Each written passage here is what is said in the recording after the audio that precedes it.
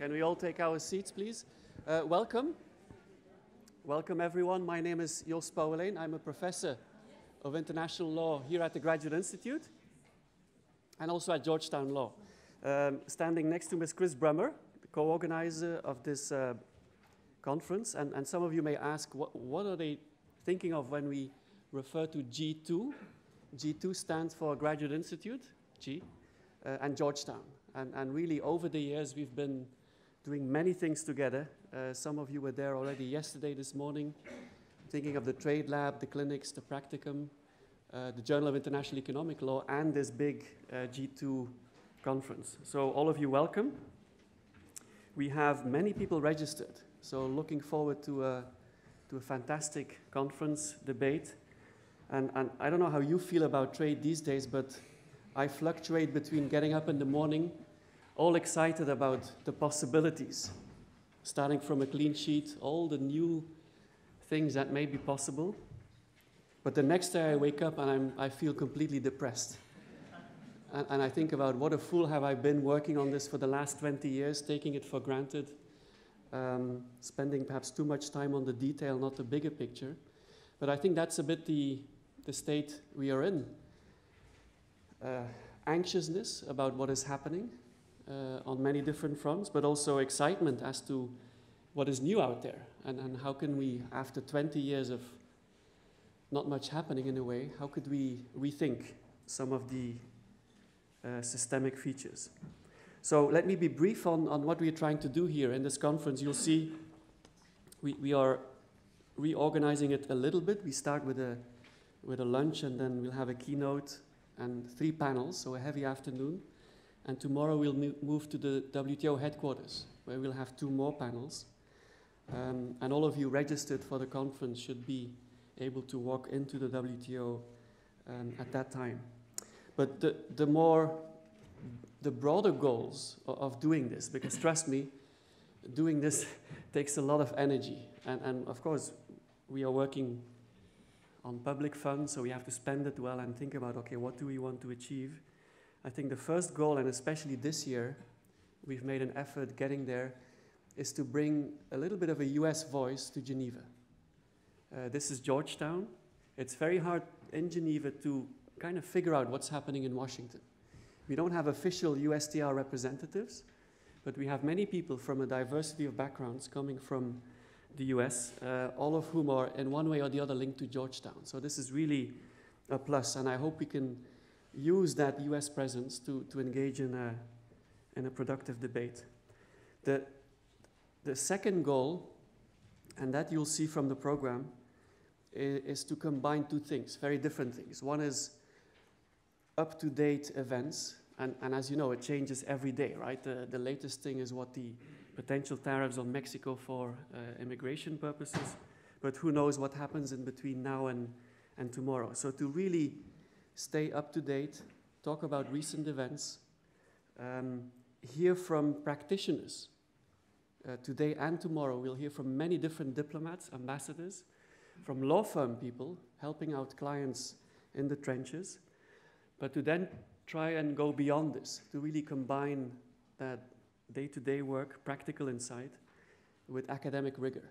We have a lot of academics as well who will um, present their views. For example, tomorrow we'll have a whole uh, panel on the trade wars, because we have with the Journal of International Economic Law a special issue on trade wars, and the plan is to present the draft papers for that special issue and to get input uh, from, from all of you. So to combine practice with longer term visionary thinking about where the system is heading.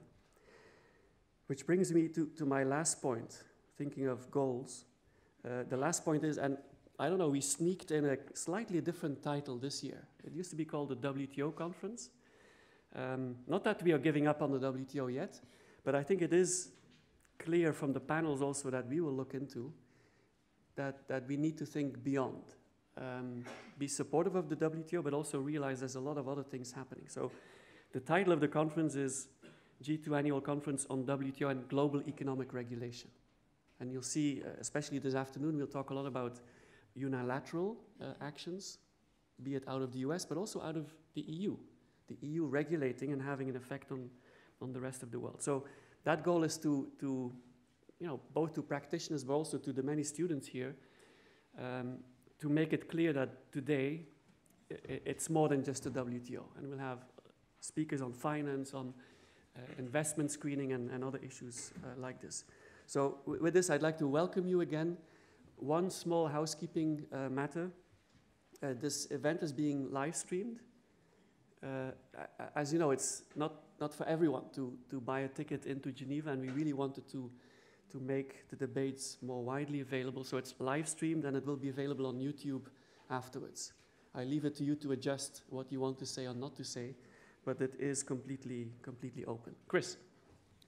So with that, and my remarks will be very brief. Um, uh, I was going to come here with the bag as a prop to say, well, I guess I'll say something since our, our name is on the tote bag. Um, but really, thank you so much for, for being here. Just to add to one little note about the change in the title, I think that what we've all seen over the last couple of years is uh, not just increasing frictions in international economic diplomacy, but really uh, growth in what international economic law means in, in, in, from a lawyerly perspective. The fact that there's inherent interdisciplinarity within that conversation, that decisions made in international monetary policy can have implications for international trade policy, which can in turn have implications for international financial regulation, and as a result, the kinds of conversations that are coming uh, about uh, by academics have to be informed by uh, a wider variety of perspectives, just as at the very time at which we're trying to create uh, better and more robust and responsive uh, institutional structures. So hopefully we can continue that conversation as, as, as well over the next two days. Uh, the Institute of International Economic Law, it's always a pleasure to coordinate uh, uh our activities and events and our personnel and our students uh, with the Graduate Institute, uh, and welcome. Wonderful. Thank you, Chris.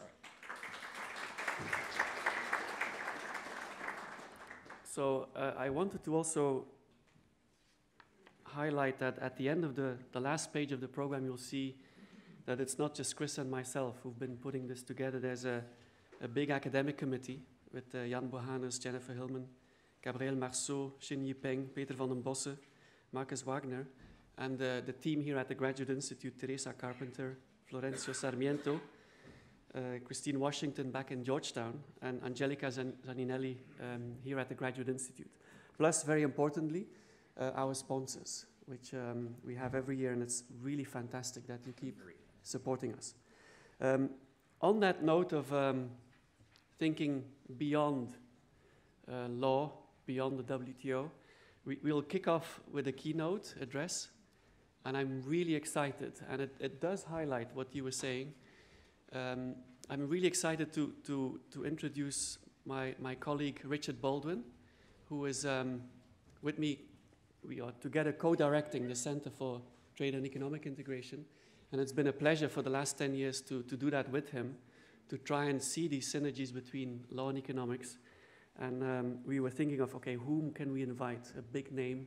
And as always, you start looking outside. But then we realized, actually, in-house, we have an amazing scholar who is becoming a little bit of a you know, global star with his two uh, recent books. Um, Richard, of course, is, is, an economist, a very famous trade economist with a lot of expertise also on regional integration at the EU level. But the thing I admire him the most for is the fact that he's not only a um, highly skilled, obviously, uh, economist at the technical level, but he's been one of the few economists who are able to, to also zoom out and to really uh, put different economic studies and other studies together and, and write essentially a popular book. And for that, I, I really admire him. Um, and it's been a, a, true pleasure to, to work with him. By the way, he's one of many, or well, few economists on my side that you can actually talk to as a lawyer. That's another challenge often that, that, that we lawyers face. And I'm sure it's the economist's fault, not the lawyer's fault. No, it, it goes both ways. So Richard has a PhD at uh, MIT, where he worked with Paul Krugman and has been with us at the Graduate Institute um, for a while. But he has recently published two uh, best-selling books, um, and, and I think that's more or less also what you, you will talk about. So Richard, uh, thank you so much for doing this. I'm, I'm turning the floor to you, and, and Richard has agreed for a Q&A at the end, uh, so I'll come back to, to moderate that. Thank you so much, Richard.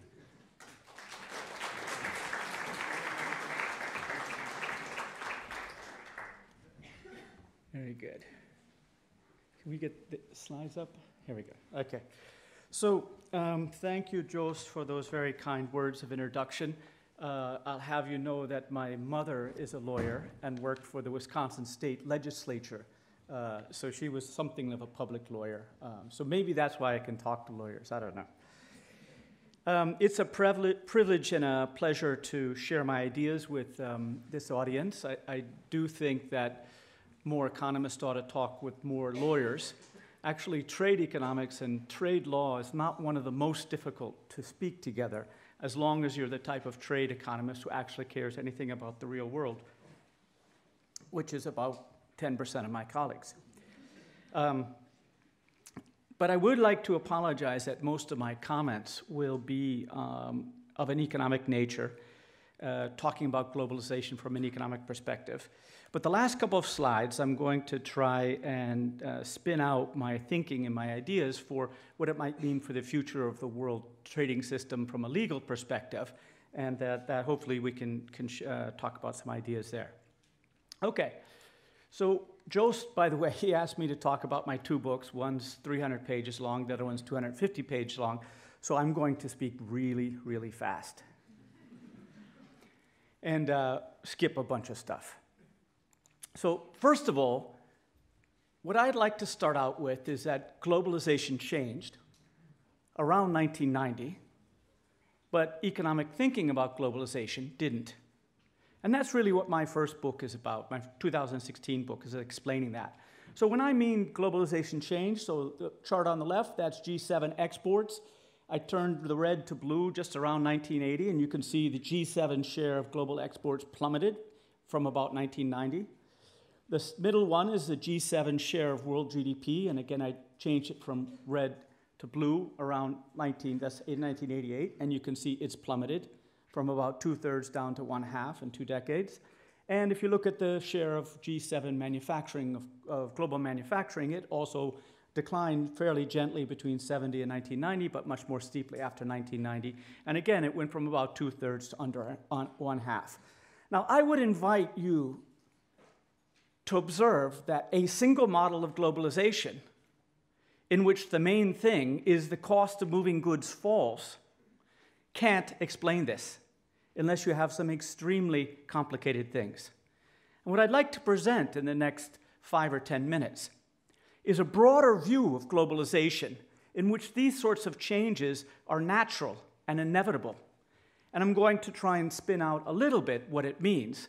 But above all, I'd like you to stop thinking about globalization as mostly about goods crossing borders, and certainly not exclusively as goods crossing borders. Now, I know many of you will be regulating investment flows and IP flows and service flows, so of course, law obviously recognizes that many other things cross borders. But when you read the newspapers and when you hear speeches, governments, practical people, many business people stylize the world in a world where trades crossing, goods crossing borders is, is what globalization is. Now, trade policy also changed more or less at this same time, basically because governments understood that trade policy didn't work the way it did before. Uh, from about 1990, developing countries started slashing their tariffs, and they went from double digits, almost all of them, down to 9% or more uh, in, a, in an amazing cascade. The middle graph shows the number of bilateral investment treaties signed per year, and the little bars show that from 1988 they were a relatively rare bird to signing a couple hundred a year until we started running out of bilateral to sign. So, so many have been signed, and then they started coming off. And the last one is the number of deep agreements, uh, deep provisions in RTAs. And by deep, I mean it's provisions that govern things beyond tariffs, beyond like Article 24 things. And uh, I'm going to argue that something fundamentally changed in the world of globalization, that it was driven by a technological shock, and it explains all these things and all these governments' reactions. Okay, so I'm not going to have a complicated theory. I'm going to simplify to clarify, which I hope uh, will intrigue you to think harder and maybe even read the book where I'm a little less simple, but this is going to be uh, pretty simple. Okay. I'd like you to think about globalization as arbitrage. Does this work? I'll just talk. This is on? Okay. And what I mean by arbitrage, now in different audiences, arbitrage means different things, but to explain what I mean here, let me talk about something other than globalization just for a moment. When people go to Germany, they try the beer because the beer is rather good. And when people go to France, they try the wine because the wine is rather good. Now, globalization is driven by companies that exploit these differences. They make the stuff in countries that are rather good at it, and they sell it elsewhere. Now, up till now, most of this arbitrage has been in goods because it's very easy to move goods across borders. You make it here and ship it there. And for two centuries, that's been actually relatively easy to do and relatively low cost. Other stuff is systematically harder to move across borders. In particular, services, things that we do, are harder to ship across borders. So until fairly recently, this arbitrage was primarily in goods for technological reasons. Now, what I would like you to do is in think about globalization of arbitrage as happening in these three things. Now, of course, there's so many sharp legal minds here. I'm sure you can think of other things that we will arbitrage, but let me stick with these three big things. Goods, know-how, and labor services. Things that have very different prices across the world and which there is an incentive to make it here and sell it there if you could. Now, this, globe, this arbitrage is constrained by three costs. Trade costs constrain arbitrage in goods, communication costs, which constrains arbitrage in know-how, and face-to-face costs, which constrains arbitration in labor services. And what I'd like to invite you to think of globalization, past, present, and future, as associated in the past with trade in goods. The present with communication costs being down and trade and know-how, and face-to-face, in other words, labor services, as the future. And now I'm going to go through this framework rather than trying to explain it logically or with charts or anything. I'm going to try and organize a couple hundred years of history using this framework, trying to convince you that it's a useful way to structure your understanding of what happened, and in particular, what changed around 1990. And then, and after I'm done with that, that should take about 12, 15 minutes, I'm going to use that same framework to think about what it means for future globalization. Should we ready? 12 minutes, 200 years? I may skip a few details, so if your favorite historical event is not in here, sorry about that in advance. Okay, goods arbitrage begins, cost of moving goods falls radically, cost of moving ideas and people falls much less. So economic historians tell us that modern globalization really got going in about 1820, uh, not coincidentally with the rise of steam power. Now that lowered the cost of moving goods, and of course it moved the lowered the other ones as well, but nowhere near as dramatically. So just to be simple, to clarify, let's say the cost of moving goods went way down and the others didn't change. Low trade costs makes high volume trade feasible. National comparative advantage makes it profitable. So before the steam revolution, production and consumption were bundled geographically at a very tight level, basically the village level, because people were tied to the land. That's what almost everybody did, grow their own food. And if they needed any goods, they were made very close by, basically within walking distance, because it was so expensive and dangerous to move goods over anything but the smallest distance. So production and consumption were geographically bundled by the high cost of moving goods. When the cost of moving goods came down, it was possible to separate the production of goods from the consumption of goods, and when you do that, you get international trade. Trade costs came down, trade flows boomed, Countries specialized in producing what they do relatively well and consume from all over the world.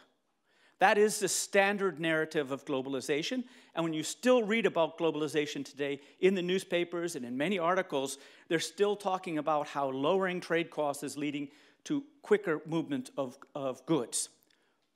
Or more particularly, fairly recently, as the growth of goods trade has slowed down, they talk about globalization being reversed.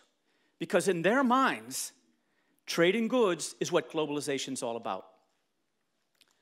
Now, the trade wasn't the big thing. Production micro-clustered, triggering innovation and modern growth, but innovation stayed in the G7, leading to the great divergence in incomes. So what do I mean by the great divergence? We live in a world where a handful of countries are incredibly rich, most people are pretty poor. That divergence has only been with us since about 1820. There was always some divergence, but it was nowhere near as extreme as it is now until globalization really got going. Now, what I want to do is use my framework to explain how is it that the rise of trade also led to the great divergence globally. The idea is when you have dispersed production at the village level, your small world, small market, small production facilities. When it opens up to the big world, it becomes worthwhile adopting very scale intensive production techniques because you're selling to the whole world. And those are typically very complex. To save on the cost of face to face and communication cost, the production were bundled tightly, basically within walking distance. And if you think about it, the Industrial Revolution actually deindustrialized most of England industrialized Manchester and some places around London, but the vast majority of England was deindustrialized as the little facilities went into great big facilities. And that was not to save trade costs. That was to save face-to-face costs to allow coordination. It had an unintended consequence. When you have dispersed production and you're only selling to 12 families, saying nails, the value of innovation is very small. Moreover, since there's very few nail makers to talk to, the ideas for how to do this better are hard to find. Once the production is concentrated tightly in huge factories, the benefit of innovating goes way up. A small cost saving when you're selling to the whole world market is worth a great deal. Moreover, there's lots of people in Manchester thinking about the same thing, so both the supply and the demand of innovation rose. And that's why growth took off in the industrialized countries at the same time as trade. And for a decade, a century and a half, the rich countries grew faster than the poor countries. That's how we got to where we are now. But the point about the second constraint on know how is all this innovation stayed in the G7. That's why there was a divergence. Stocks of knowledge per worker built up in the G7 and could not be arbitraged away because it was so difficult to move know how across borders and control it. Just to give you a small example, it took two centuries for the magnetic compass to get from China to European navigators. It took a thousand years for Buddhism to get to India to, to being really big in China. Ideas did move, but not very fast back then. Now, there was another shock. The information and communication technology, which appeared gradually from the 1970s, but really got going around 1990 with the internet and those sorts of things. This lowers the cost of moving ideas. So now two of the three constraints are lowered. We have easy movement of goods, easy movement of ideas, and that started changing globalization in ways that many of you will be familiar with, at least the first parts. The ICT revolution makes offshoring technically feasible. Vast wage differences make it profitable. So this micro-clustered factory, let's say it's a Toyota factory in Nagoya, is doing everything in Nagoya even though it would have been cheaper to do certain stages, let's say sew the leather seats onto the, uh, the seat frames. That would have been cheaper to do it somewhere else. But before the ICT revolution, we coordinated stuff by fax, by airmail letters, and occasionally by landline calls. Now, how many of you remember organizing conferences by fax and airmail letter? That was difficult. And in that kind of world, there is absolutely no way Bombardier could make the tails of its business jet in central Mexico and hope that they would fit into the rest of it up in Quebec, coordinating by airmail letter. What changed was it became technically feasible to organize complex activities over long distances and keep them coordinated. That's what led to the boom in FDI, in outsourcing, in uh, the movement of jobs overseas. So this is ICT coordinated this factory unbundling. That's the second unbundling, the factory's unbundling, and it's the ICT that coordinates it. Some aspects of that we can measure. Foreign direct investment, number of jobs, foreign affiliates, foreign affiliate sales. There's a whole bunch of stuff we can measure, but that misses the big point. The big thing that changed was that knowledge arbitrage began.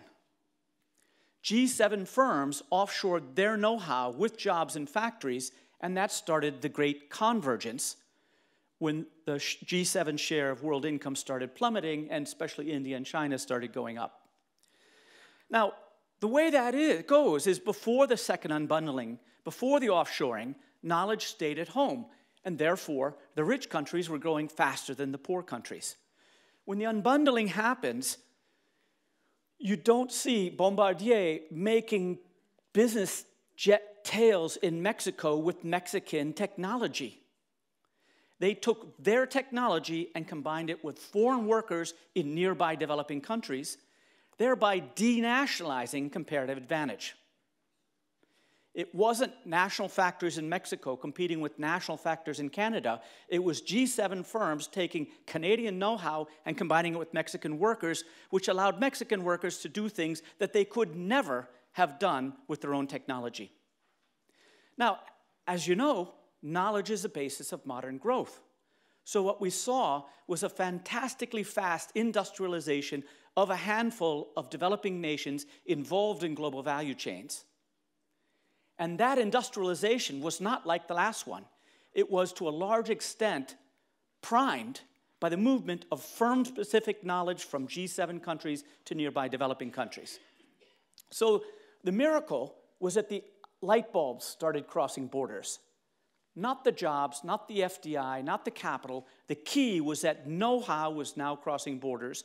And I don't just mean IP, I mean, how do you arrange a factory floor so you're efficient? Lots of stuff, lots of stuff that, that uh, never crossed borders before. Now, in some ways, this new globalization, or the second unbundling, as I sometimes call it, was a new pipeline for knowledge arbitrage. So, this is another sort of infographic to make the same point, and, and it's the key point, so I want to stress it one more time. Let's think of the world to simplify, to clarify, as two groups of countries headquarter economies, which are G7, and factory economies, which are developing countries. Now, in headquarter economies, they have high know how to labor ratios, which supports high wages. The developing countries have low know how to labor ratios, which leads to low wages. And before, that's how it stayed. With ICT, you could open up a pipeline between that knowledge and the low wages, and the knowledge started flowing to the low wages especially in manufactured goods, and relatively rapidly, which led to the deindustrialization of the G7. It led to the falling trade share of the G7. It led to the rise of GVCs, which led to great big trade flows with developing countries. It's why developing countries lowered their tariffs, because in this world, tariffs hinder your competitiveness, not helping it, especially in intermediate goods. And that's what we saw. Many final goods, the tariff stayed high. Intermediate goods, they all came down. It's why countries signed bilateral investment treaties because they wanted those factories. Both the people who wanted the factory and the people who wanted to sell the factory wanted a legal underpinning for it. So countries who for years, uh, decades, viewed FDI as selling the family silver started signing bilateral investment treaties that gave away significant parts of their sovereignty. And they started signing deep regional trade agreements because these relationships aren't multilateral. If you want American factories, you sign a regional agreement with the United States. If you want one with Europe, you go to Brussels. If you want one with Japan, you go to Tokyo. So these bilateral trade agreements started putting in a whole bunch of legal underpinnings to, allow, to make the flows of goods, services, information, people, all those easier. That's why globalization changed in 1990. How long did that take? A little longer than I thought. But anyways, um, that's the basic idea of the first unbundling, the second unbundling. And I think that's where we are now. Although that whole story, the low hanging fruit has all been picked. All the easy stuff in GVCs is gone, and there's some, uh, as, you, as Joseph was saying, there's some indications that that may be going into reverse or at least regionalizing. Okay. But the result of this is that the new globalization in, in, impact is more sudden, more individual, more unpredictable, and more uncontrollable. And it's created a sense in the rich countries that no matter what your job or skill you have, you can't really be sure your job won't be next. And I think that uncertainty, that fragility, is part of the backlash that you see, especially in the working class in the rich countries. Now, it's more sudden because it's driven by ICT, not tariff cuts or building ports or railroads. So it can happen very fast. In two decades, you can get changes that would normally have taken five decades before. It's more individual because we're no longer talking about competitiveness at a level of industries or sectors. It's individual stages. One little bit of making air conditioners went from Indiana to Mexico, and the people in that factory who were involved in that bit of the production lost their jobs. The other people became more competitive because that bit of the production got cheaper. So it's no longer sector by sector, skill group by skill group. It's fragmented.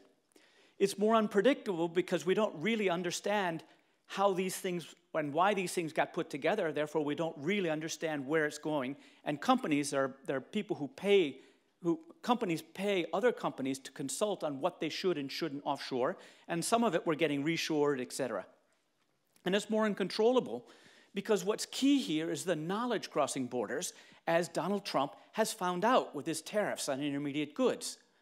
You can put tariffs on intermediate goods, but Harley Davidson is perfectly able to move the production of exports to Malaysia and the production of American sold bikes to America. And that know how, which is what triggered the original deindustrialization, can't be controlled by things like tariffs and quotas. Okay, now on to my, 19, uh, my 2019 book, uh, The Globotics Upheaval. So this is about both automation and it's really about the future of work, but I'm going to focus on the aspects which are the future of globalization here. But let me first explain a little bit the title, because uh, most people, it's, it's pronounced globotics. Can we try that? Globotics. All right, thank you very much. I'm hoping you all remember. Globotics is an ugly but hopefully memorable word that smashes together globalization and robotics to make a very simple point, and this is the point.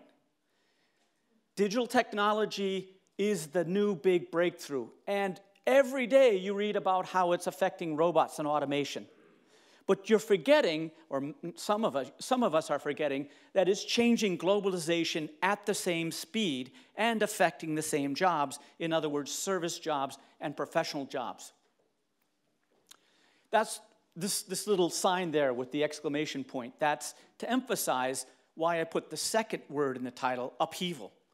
Because I think it's possible that white collar workers who are displaced by white collar robots and globalization will join hands with the blue collar workers who've been disrupted in the last two decades, and we may get a big disruption, a big backlash. Sometimes they call it the techlash. And if you want to see an example of this, look up the presidential candidate called Andrew Yang. His hashtag is Yang Gang. Um, he has videos which is basically the globotics transformation outsourcing of service jobs, automation of service jobs, he believes will cause a revolution in the US, and he wants to do something about it. He won't win. He doesn't have anywhere near hundreds of millions of dollars. He's several hundred million dollars short of what it takes to win a presidential campaign in the United States. But his ideas, I will bet you dollars to donuts, will be accepted, adopted by every left leaning candidate in the United States and probably in Europe and spreading Because here's the thing people are feeling fragile and nervous. United States unemployment rate's the lowest it's ever been, but people aren't feeling very good about it. And somebody on the right blames immigrants and China. The left will want to blame somebody, and big tech is such a convenient scapegoat.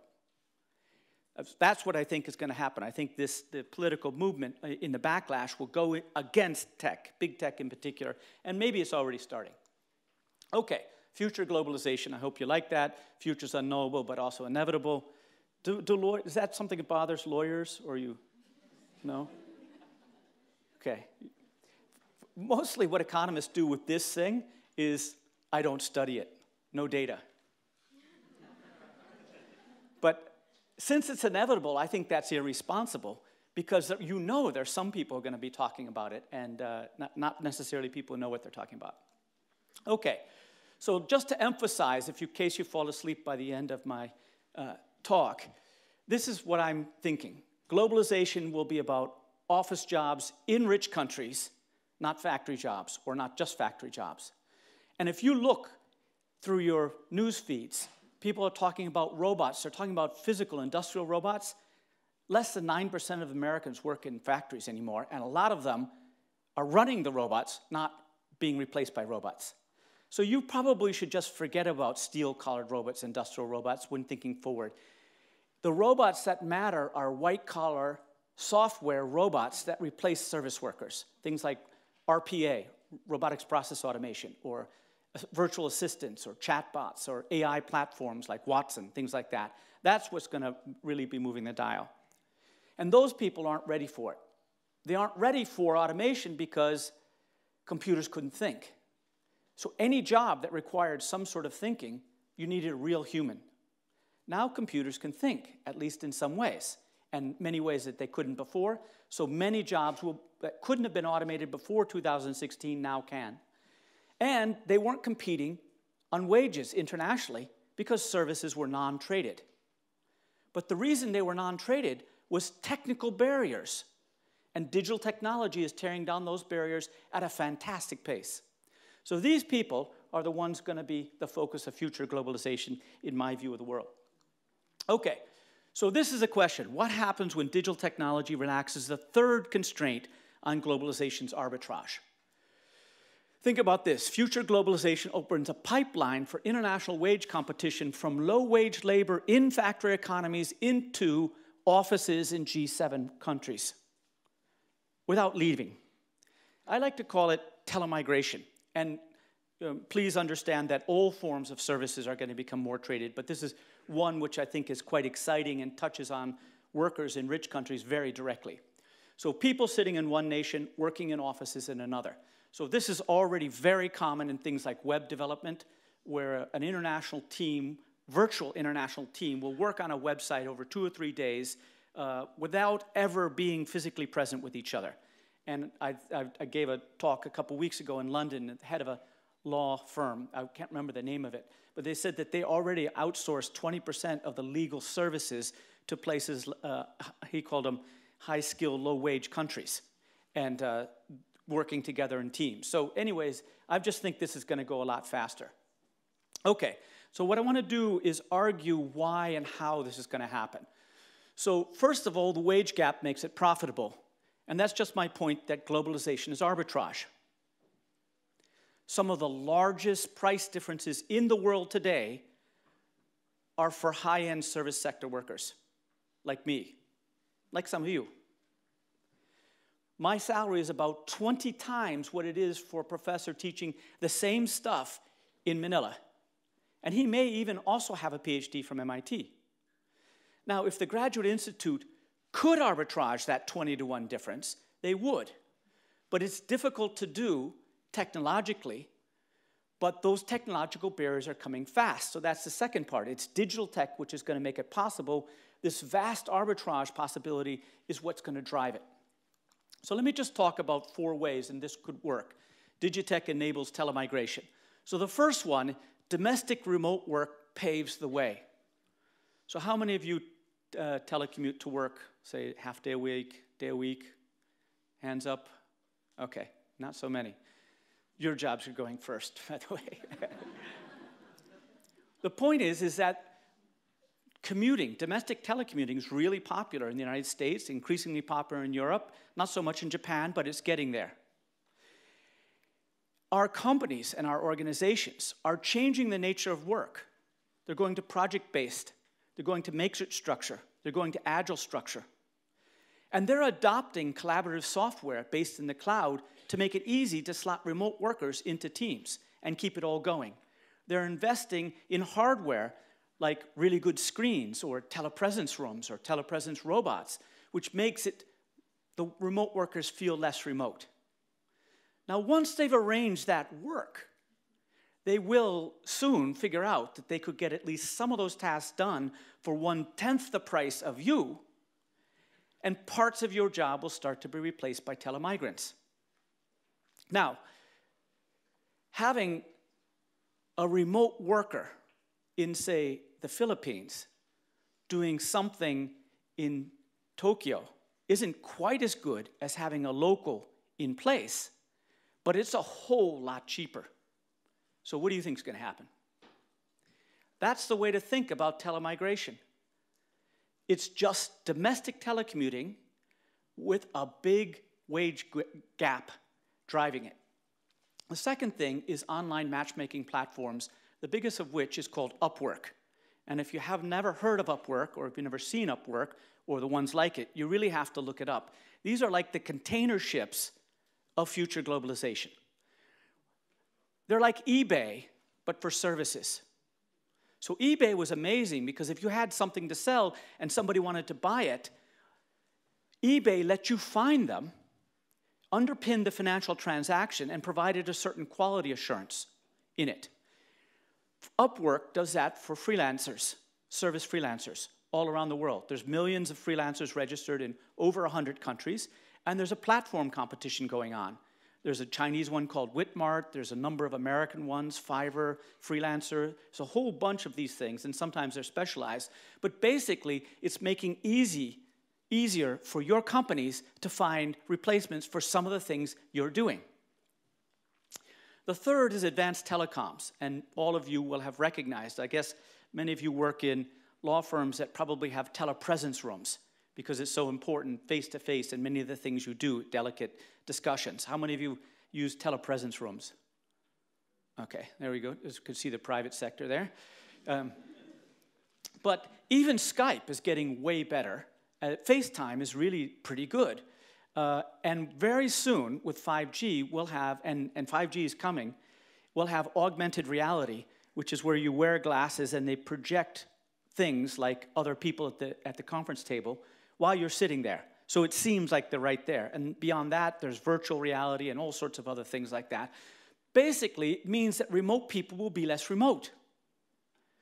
And that remoteness is what stopped services from being traded, or lots of it.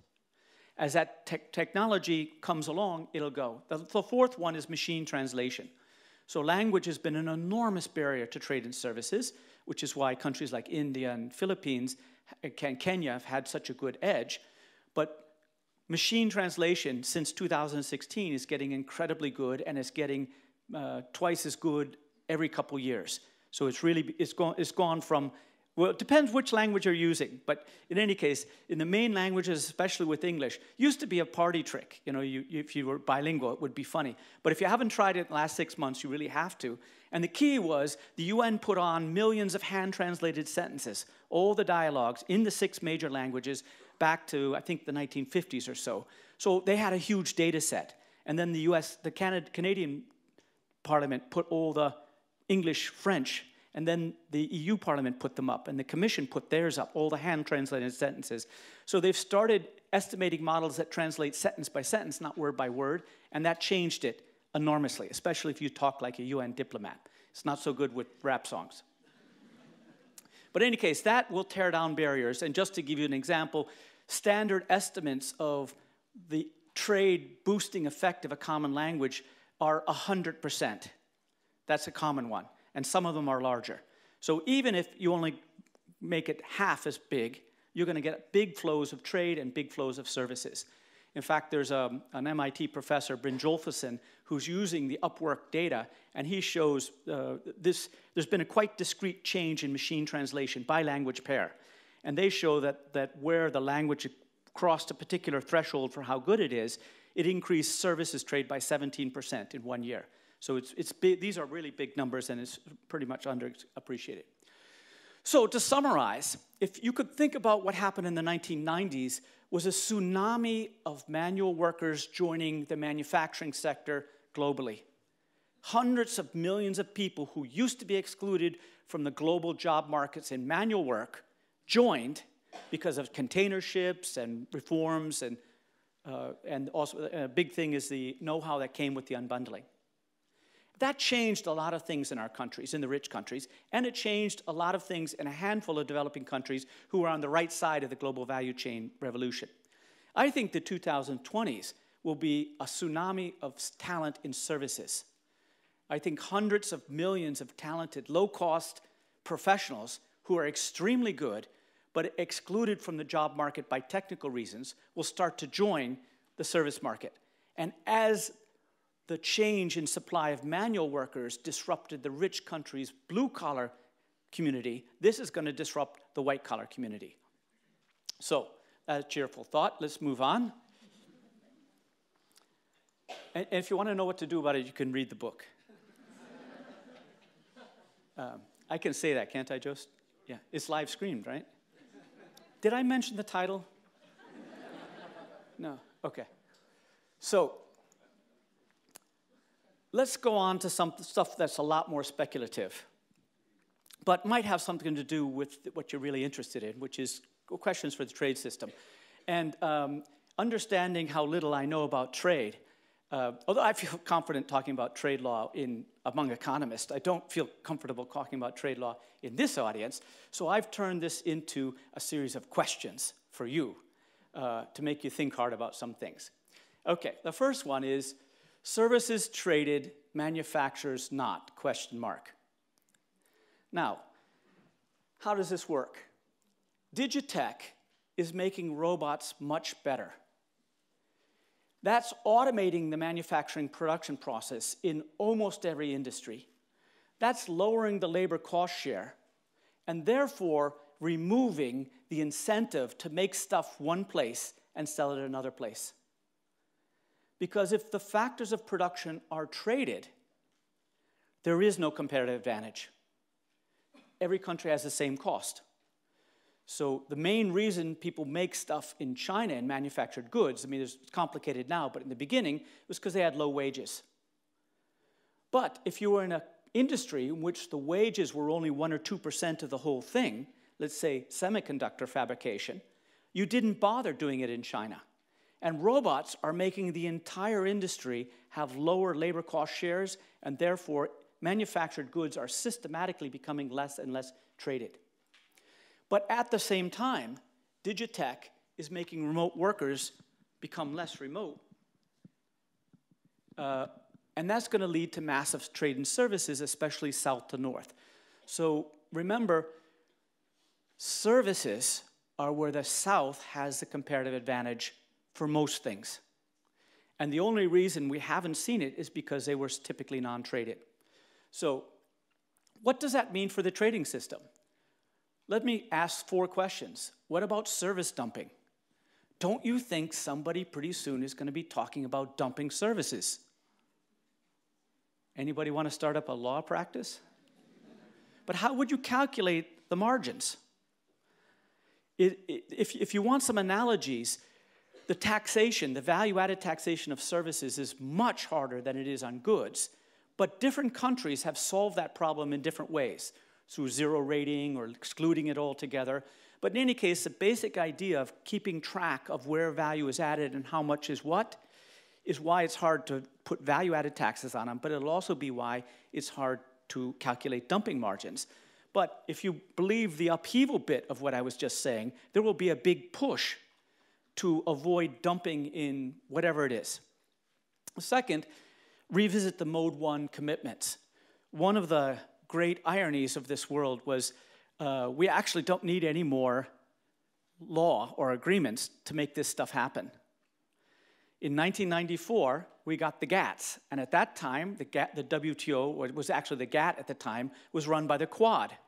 And the Quad had only offensive interests in Mode 1 trade. Rich countries were exporting Mode 1 to poor countries, and in a great act of kindness, they all put almost all their sectors into no restrictions on Mode 1. So, in essence, there's free trade from the rich countries' perspective. Now that they are going to be on the rece receiving ends of a great deal of importation of this stuff, I think we may see them revisit their Mode 1 uh, commitments, at least on, in the richest countryside. Labor standards. So, labor standards is a big thing in goods, uh, political thing um, for, for labor unions. It's also become a political thing for consumers who really care about who made their goods. And we have systems, imperfect though they are, of checking that labor standards are enforced in the factories that make the stuff we buy. We know how to do that. We send somebody to the factory. But when it comes to services, it's much more difficult to know who actually is providing the service. And my, I will project, I will uh, guess that we'll have some scandals like the Nike scandals, uh, but for photo tagging. My guess is that companies like, say, Walmart, what they'll do is they'll take uh, 100,000 photos and then they have somebody on the internet tag those phones. You, you need a human to tag it the first time before you train your model. And who knows, we'll probably find out that it's 12 year old girls chained to chairs in outer Mongolia in freezing conditions doing the tagging, getting paid three cents an hour. Big scandal. The point is, is how would you know it wasn't them? So I'm pretty sure we're going to have to find out ways of imposing, you know, not just the basic labor standards like no child labor in this service sector trade. And the fourth one is income taxation. So uh, people who do this on, on, on platforms like Upwork and, and even, even outside of those, if they, if they found, each, other, found people directly, the question is where do they pay taxes? Now, uh, it's very unlikely that they're paying taxes in the country where they're actually working, uh, which will strike the other workers as incredibly unfair to start with. But it's also quite likely that they're not paying taxes in their own country because they're not filing, not being paid through the financial system in the usual way. They have not an employment contract. So I talked to the CEO of, of Upwork at Davos this year, um, Kasriel, and he said in the United States, they emit 1099s for all US freelancers to alert the government or potentially alert the government for taxation. And he said, and I said, well, what about Sri Lanka? And he says, well, they don't ask. But he would if he'd asked. So I think we need some sort of agreement or law or cooperation or best practice so that the platforms at least inform the local government of the revenue, uh, probably make it more self-sustaining. Okay, the last one, and I'll promise to do this very quickly. What is data, question mark? So I was uh, reviewing uh, uh stuff for the T20 in uh, Osaka recently, and there was a economist who wrote a paper which said data is just like goods, therefore it should be free. Well, it won't surprise you that it was a Japanese economist who wrote that. But then it made me think what is data? We know how to regulate goods, services, IP, investment, financial capital, and migration. We have whole regimes for that legal regimes and also economic regimes, taxation regimes. Which of these is data? Or do we have to invent an entirely new regulatory regime? Now, in my reflection, and I don't, haven't finished this reflection, I think some types of data correspond to each of those five. But there is no such thing as data when it comes to international regulation. And we need to get some more nuance on that data. So, in preparing these slides, spending five minutes thinking about it, but actually, sometimes five minutes is the best five minutes. Then you spend another five months working it out. Here's my thoughts uh, we need more nuance on data. We need modes, like we have modes on trade. And we, what are the features that would distinguish these modes? So here, thoughts on key data feature, durability, sensitivity, exclusivity. So some data, let's say Snap, uh, Instagram photos, disappear very quickly. So even if the privacy all goes wrong, it's not that big of a deal. And I suspect that technologically we may have, see more and more disappearing data. But also, some data just is only relevant for short periods of time. Like if you're near a coffee shop, that's important data to the coffee shop while you're there. After that, it's not all that important. Sensitivity. Medical records, your, your DNA, is totally different than your postal address for delivering an eBay package. Um, financial data is sensitive in some ways, but regulators in different countries have to see that data in order to do their job. So it's sensitive, but in a different way. And some stuff is not sensitive at all. Uh, you know, it's uh, completely not anonymous. Uh, it can't track people. It can't really be used uh, in, in, uh, in ways that are harmful, so it's not sensitive. And exclusivity. Lots of information is free, available on the web to anybody, like my birth date, you can find. So why should that be super sensitive if it's not exclusive? And the last thing I would throw in is does it have a public good element? And the aspect, that the classic one is uh, personal medical data in um, a medical emergency. So let, us say there's an outbreak of some ter terrible disease in some place. And for public interest reasons, you have to transmit that data to the doctors, maybe in different countries, maybe going through different companies, but there's this big public need for that data right now. And you wouldn't want the trade regulation to prevent them from stopping uh, plagues in Africa, for example. So I'll stop right there and uh, suggest some modes. Mode one, not durable, not sensitive, or, and or not exclusive. Mode two, exclusive and sensitive, but not durable. Mode three, all three, exclusive, sensitive, and durable. So thanks for listening some blue sky conjectures. I'll stop there.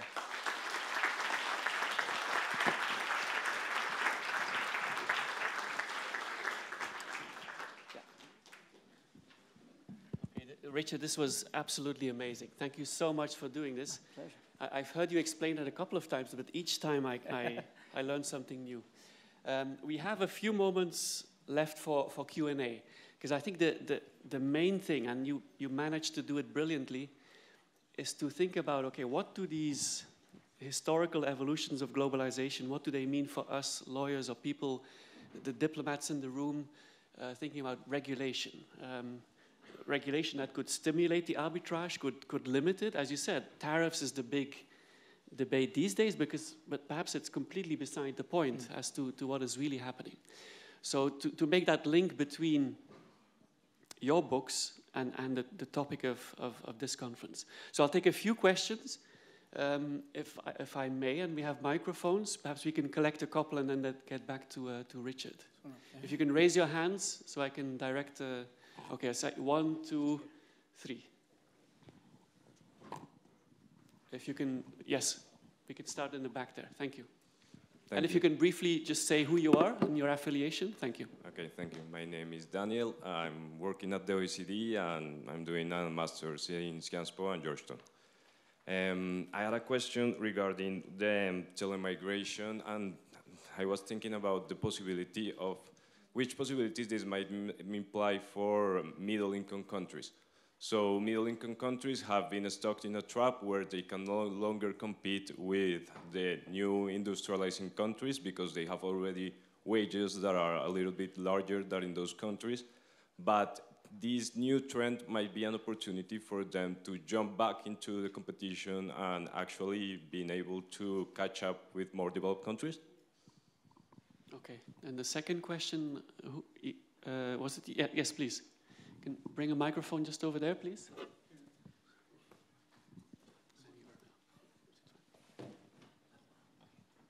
So my name is Lakshmi Gopal. I'm from the University of Halle-Wittenberg, but I speak more as a double-barreled Indian American. So I really appreciated your uh, point in trying to think about data in a more nuanced way. Um, my question is about uh, the framework through which we approach that question, um, a lot of the discussion that we saw in the history of globalization was from a first world perspective. So I, I, you know, I, I've noticed that Bombay has changed more in the past five years than Washington, D.C. has in the past three decades. So how will innovation, changes in developing countries, and um, uh, technologies uh, that are sort of changing all the relationships geographically and temporally, how will these impact the way that we think about the different modes of data? Wonderful. And then over here, Chris had a question. Uh, I just had a question in terms of uh, the larger question of GDP. If you're outsourcing the lower uh, wage jobs, you're still maintaining very often, very frequently, the um, higher wage jobs. And what you could in turn see, and this is what you're seeing in law firms and even in the academy in, in, in, in some ways, is that you get larger uh, differences in terms of the income distribution within countries if the gains from those supply chains, whether or not they be knowledge based or data based or whatever it is, if the gains from those uh, changes in the supply chain uh, chains are still upstreamed uh, to those higher waging jobs, does that um, mean a stabilization in terms of relative GDP at a country level? Because ultimately, the gains could still be flowing to that higher income uh, population. Okay, wonderful. So prepare for the next round of questions. Inequality. Uh, perhaps in a moment. I'll first turn to Richard, but if you have more questions, be ready to ask them. Richard. Right. So the OECD question, um, I think uh, I, I, the book I wrote in, in published uh, February uh, this year uh, is all about rich countries because that's where I'm um, most afraid that people aren't ready for it and, and, and hiding. But I'm writing a paper in September uh, for Wider on what the, what the globotics transformation means for developing countries. And one of the main takeaways is it's good for middle income people in middle, uh, middle class people in middle income countries. Uh, that people who have skills that are recognizable at the international level could be bookkeeping, it could be knowing how to check somebody into a hotel, but it can't be picking coffee beans. Um, and you have to have a connectivity, so you're pretty much talking about middle income countries. You have to have some way of paying them, so that leaves out all the poorest countries in the world where you can't send money into, the, into their banking system. So I, I think you're exactly right. In particular, I think the emerging market miracle will spread and be driven by service led export growth. So I think that there will have a lot more emerging market miracles, and they'll look a lot more like India than they did like China. Part because the automate, first of all, fabrication of manufactured goods has become commodified, is not really that great. But if you're poor enough, it's still a great job. But it's getting worse and worse, and, and there's fewer and fewer of them because of automations. Whereas services is opening up, and uh, there's lots, lots of export boom. So I think it will spread geographically. I think there'll be an incentive to use African countries for telemigrating to Europe, South American countries to North America, Southeast Asia to Northeast Asia. So I think the emerging market miracle will spread, but leave the lowest income countries behind. Um, in, in uh, the question from uh, India, US, um, the, uh, the, the spread, I think, will continue, as, as I said.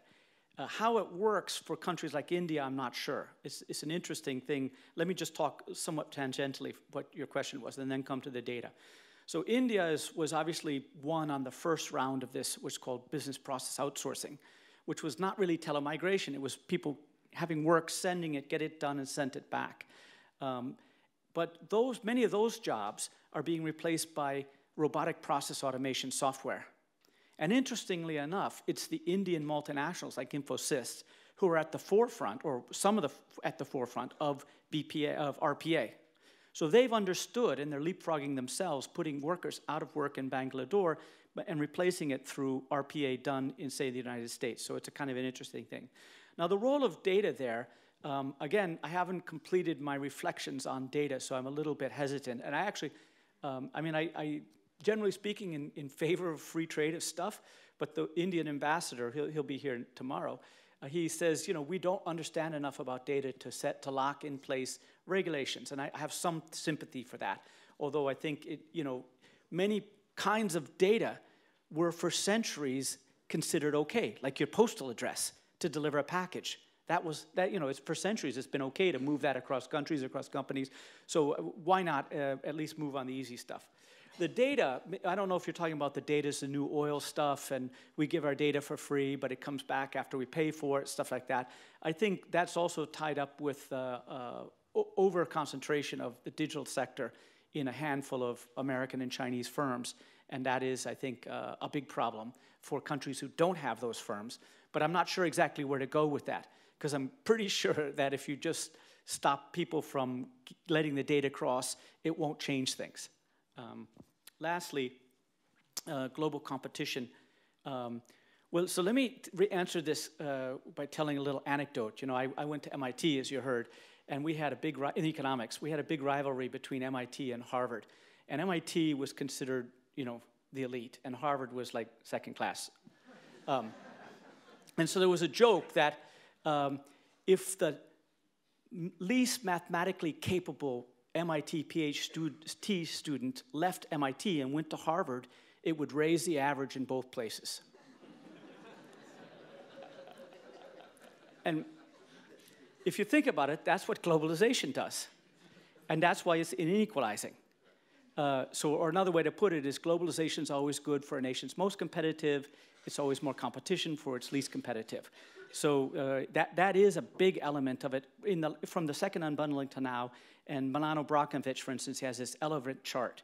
And I, I believe, and in my 2016 book, I explain how this framework can explain how it is that the working class in, in, the, in the rich countries really got it in the neck, the elite got it everywhere, and the working middle class and manufactured goods in, the, in the, like India and China did so well. It's because of the movement of knowledge. Now, I think that will be somewhat different this time um, because it's affecting competition for people who have good jobs, white collar jobs. And there's the low end stuff, telemigrating, uh, you know, call center services or data entry. That's affecting relatively low income white collar workers, but still they're above the median. But there's a lot of this stuff, like in legal services or medical services or financial services, which are affecting people at the high end. So I believe that digital technology won't continue the inequalization of income inequality in the rich countries, and I think it will, will massively narrow the inequalities between the middle income countries and the richest countries. Okay, we are running out of time, but just a couple of questions, if there are still in the room, very, very briefly. One, two, three, and then we'll have to stop. I'm sorry. Uh, hi, I'm Behr. I'm here student at MDev at the Graduate Institute. Uh, my question is about the tele-migration. Uh, the first question is about uh, the contractual agreement, specifically on privacy of uh, the data that is that a consultant or some freelancer is working on. Example of Upwork. Uh, uh, what are the privacy clauses or the privacy, um, I don't know, like enforcement on the data that this person is working on? The second one is, did any country in the world has talked about the tax evasion uh, of this issue. Uh, Sergio, over there. Oh, you have a mic. Uh, can you hear me? Yes. Yes. Uh, Sergio Puig, University of Arizona. Uh, thank you so much for, for this very compelling story, and I think it's just really well uh, told, and I think it's going to be very effective. Just want to um, push back and see how do you respond to the criticism that has emerged from the reviews of your book about that this story seems to suggest that there's this uh, inevitable force, uh, you know, and tends to obscure uh, another story that's also creating anxiety, which is the lack on social investment, uh, the difficulty of uh, uh, you know, taxing corporations, and you briefly refer to you know, aspects of regulatory mechanisms for large technology companies. So what is the response to, to that criticism? And the, the last question I had pointed at, yes, uh, they're in the back, completely in the back.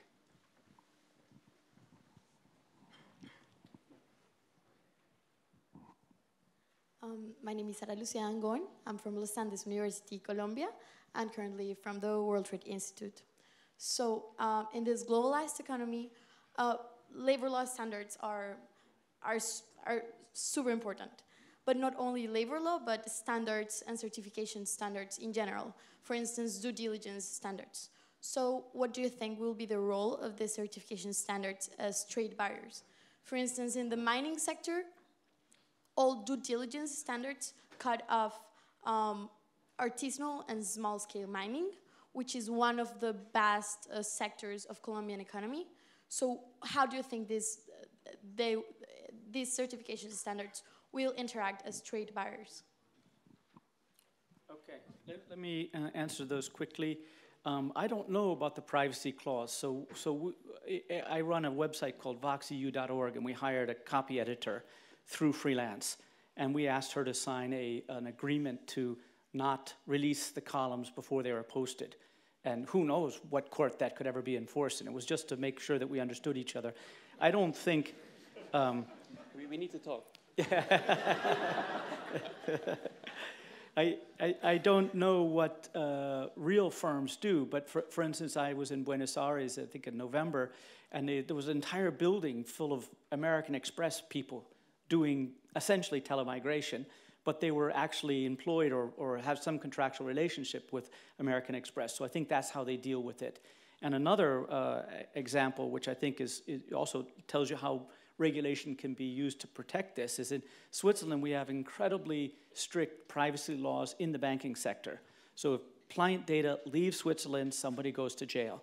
And as a consequence, the Swiss banks have never offshored their back office stuff like every other bank in the whole world has done because it's just not worth it. So it's done in the remote areas of Switzerland, not, not the remote areas of the world.